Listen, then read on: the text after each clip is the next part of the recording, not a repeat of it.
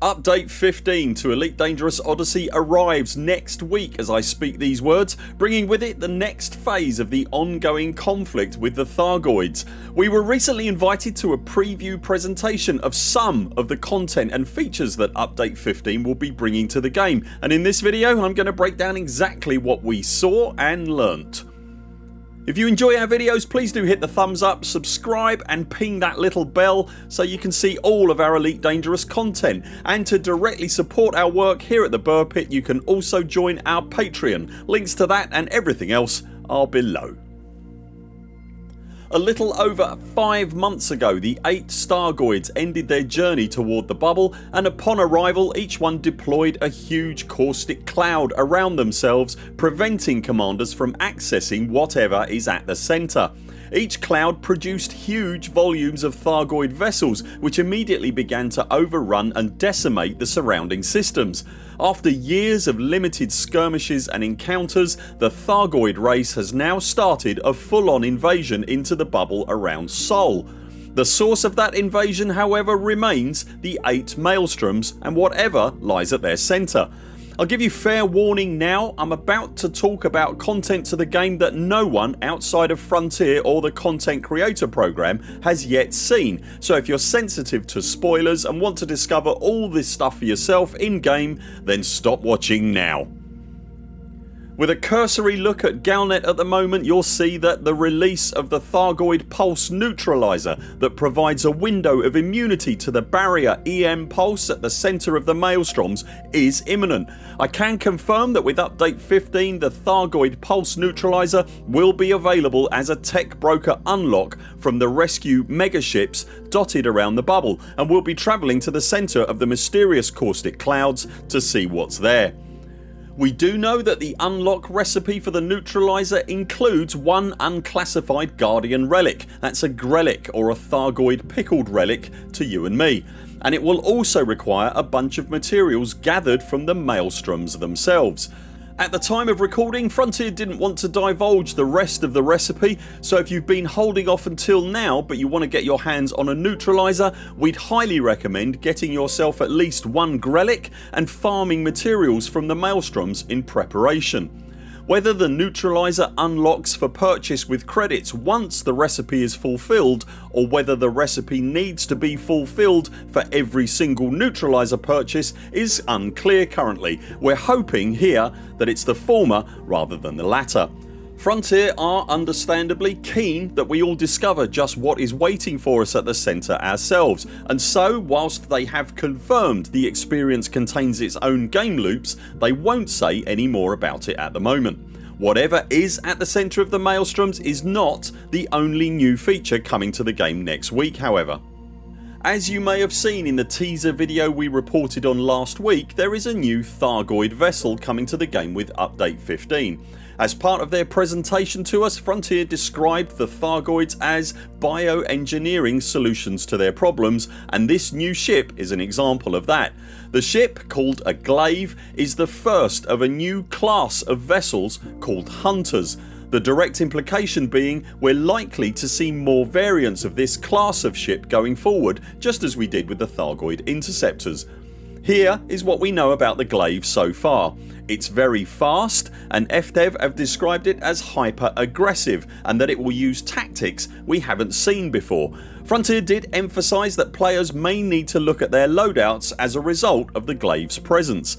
In the video we were shown of an encounter with the ship its lightning attack can be seen randomly rebooting modules on the players ship.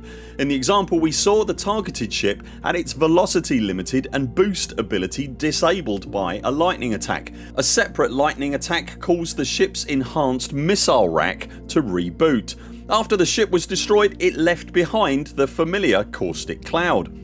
Where and how the glaive appears in the game we can't be certain of at the moment but it does appear to be designed to stop commanders from easily escaping an encounter with it.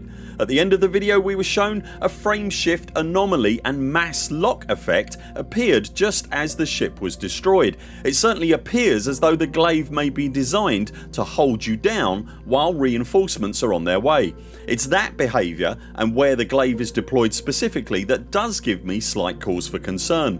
it can already be quite challenging for regular players to travel through Thargoid occupied space let alone make it to a Maelstrom unscathed as the hyperdiction and interdiction element introduced in update 14 can be a genuine problem for slower vessels to escape from. Whilst anti-Xeno combat has absolutely been made more accessible in the game particularly as part of the Thargoid war it should, I feel, always still be a choice and AX operations is a loop that will just never appeal to a lot of players. I wouldn't like to see access to the Maelstroms and whatever is inside locked behind a necessity for AX proficiency. With that said I am pleased to see AX players getting something else to contend with finally as it's been quite a wait for them since the Hydra and Scouts were first deployed. Next we were shown a new Odyssey surface mission variant that will be arriving in update 15. The mission is a version of the settlement power restore missions that we've become used to but it comes with a couple of important differences. The ultimate goal of the mission is to recover some important items from settlements that have been abandoned after the system they were in was overrun by the Thargoids. Once the power to the settlement is restored and it's brought back online using a supplied power regulator and appropriate security access there will be other tasks that will be required of the player before the mission can be completed. This can range from collecting a specific item from the settlement or getting a specific piece of data from a data port. These tasks will invariably involve moving between buildings after the settlement has been brought back online. Whilst ordinarily this wouldn't present too much of a problem Frontier have added an extra wrinkle to the settlements in Thargoid territory. That extra wrinkle is the presence of a new Thargoid surface enemy unit called a Revenant these aren't yet the long awaited on foot Thargoids themselves but rather a biomechanical construct of the Thargoids similar to the Thargoid scavengers that can be found at the existing Thargoid surface installations. They are however much more agile, much tougher and heavily armed.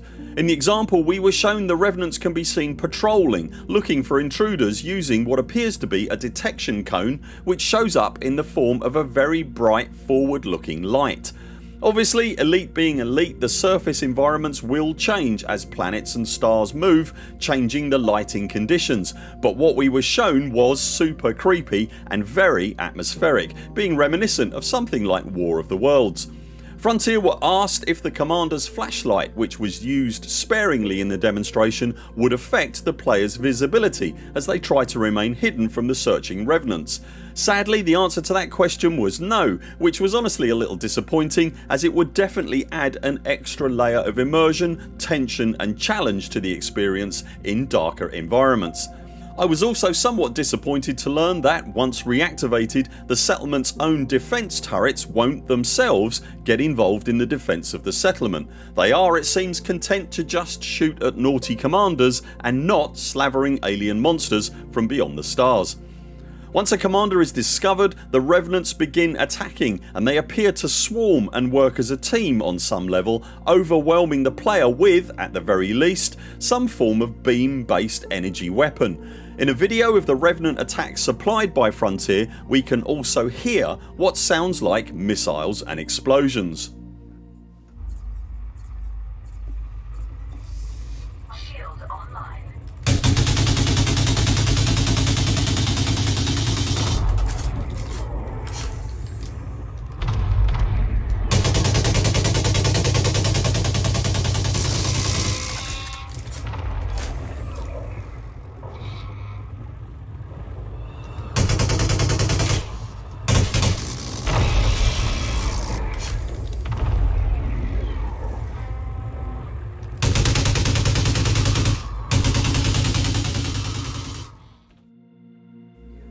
When we queried Frontier about this all they would reveal at the moment is that the Revenants have more than one weapon in their arsenal but they won't reveal any more for the moment.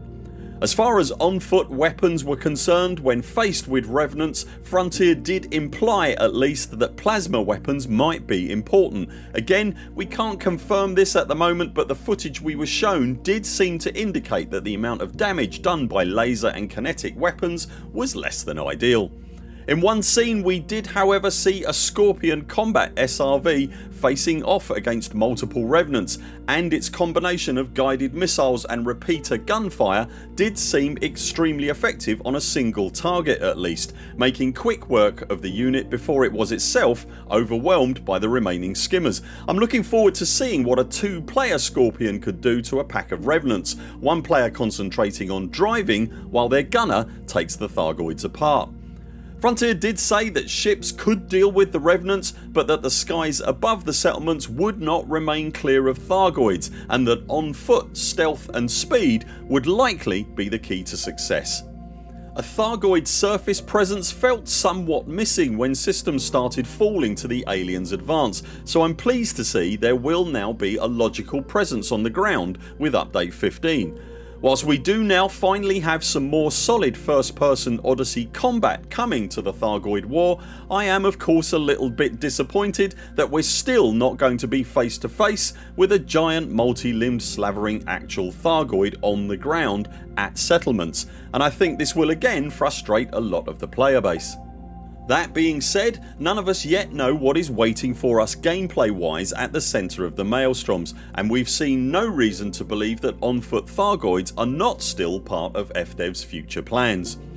Two further key points of note. In the example we were shown the new mission was picked up from the cockpit despite being an Odyssey on foot mission. If this new functionality extends to other missions or is limited to just this latest variation we don't yet know and when referencing the scavengers at Thargoid surface installations senior producer on Elite Dangerous Samantha Marsh did confirm that the Thargoid installations are indeed gigantic long dead downed Thargoid vessels and they're being deconstructed by the ever present Thargoid scavenger units.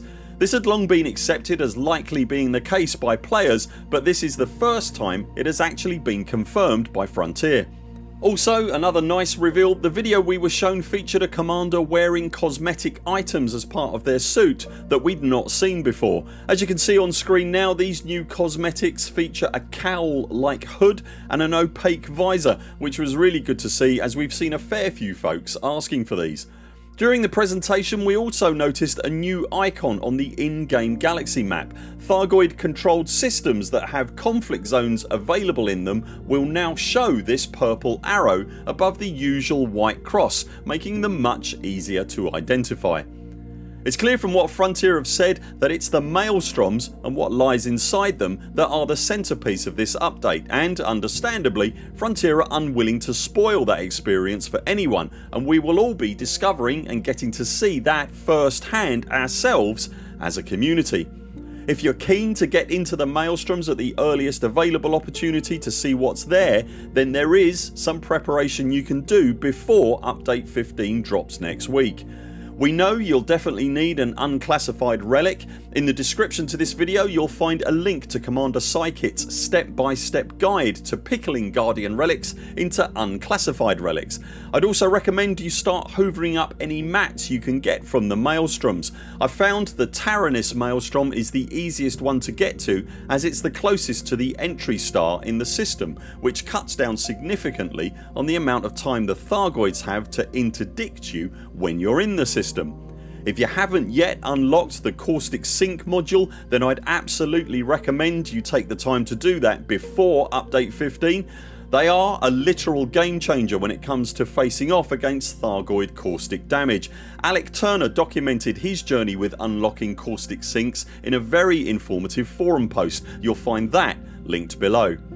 We don't yet know the full requirements for unlocking the Thargoid Pulse Neutralizer beyond an unclassified relic. All Frontier will currently say is that it will require several materials from the Maelstroms themselves. So obviously harvesting liberally from there once you have the caustic sinks unlocked will serve you well. Update 15 is currently scheduled for deployment on the live version of the game on Tuesday the 9th of May starting at 0600 hours UTC with the servers not scheduled to return until approximately 1400 hours UTC. The downtime will not affect the legacy version of the game. Remember to back up your key bindings and we'll see you on the other side. We'd love to know how you're planning on dealing with the Thargoid glaive. Will you be attempting to take on the Revenant units on foot and will you be gathering materials to take you into the heart of the Maelstrom? Let us know in the comments below. That's it for now. Thanks very much for watching. If you enjoyed this video consider subscribing to the channel and maybe take a look at one of our other videos linked on screen right now.